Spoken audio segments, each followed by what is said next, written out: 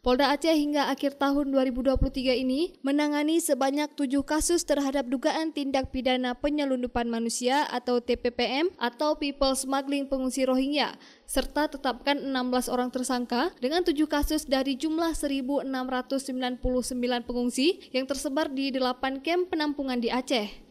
Hingga akhir tahun 2023, pengungsi gelap etnis Rohingya di Aceh berjumlah 1.699 orang yang tersebar di 8 titik kamp penampungan sementara di beberapa wilayah di Aceh.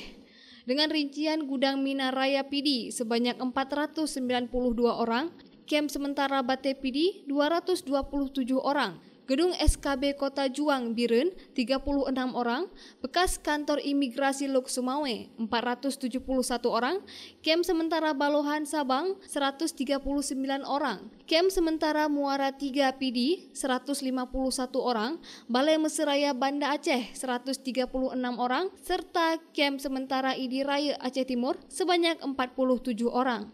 Kapolda Aceh Irjen Pol Ahmad Kartiko dalam konferensi pers akhir tahun mengatakan pihaknya akan terus menyelidiki dugaan tindak pidana penyelundupan manusia terhadap pengungsi Rohingya di Aceh.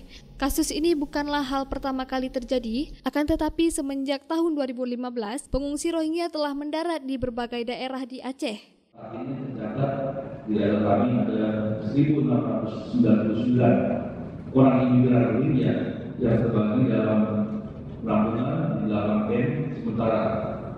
Polda Aceh terus berupaya melakukan penyelidikan terhadap indikasi terjadinya uh, tidak pidana perdagangan manusia atau people smuggling.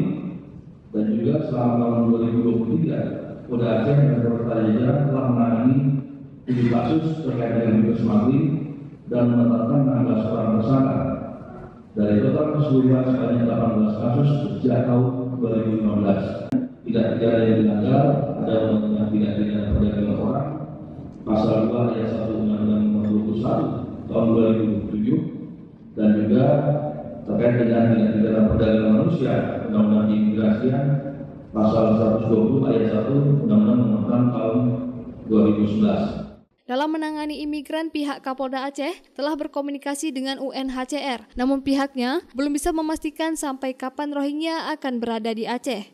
Tidak hanya itu, Kapolda Aceh juga melakukan komunikasi dengan pihak pemerintah Aceh, imigrasi, dan pihak-pihak terkait untuk menemukan titik temu dalam menyelesaikan kasus tersebut yang hingga saat ini masih terjadi penolakan oleh masyarakat yang masif. Dari Banda Aceh, Lala Nurmala melaporkan untuk Puja TV Aceh.